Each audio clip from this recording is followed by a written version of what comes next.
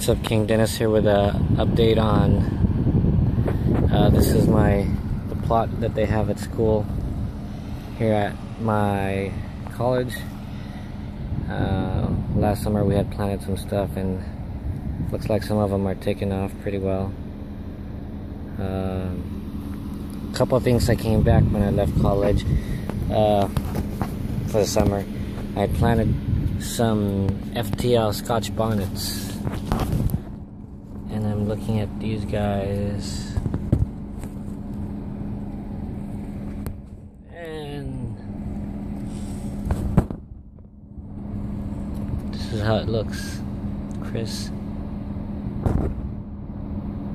FTL Scotch bonnet it's not bad. Very bumpy in texture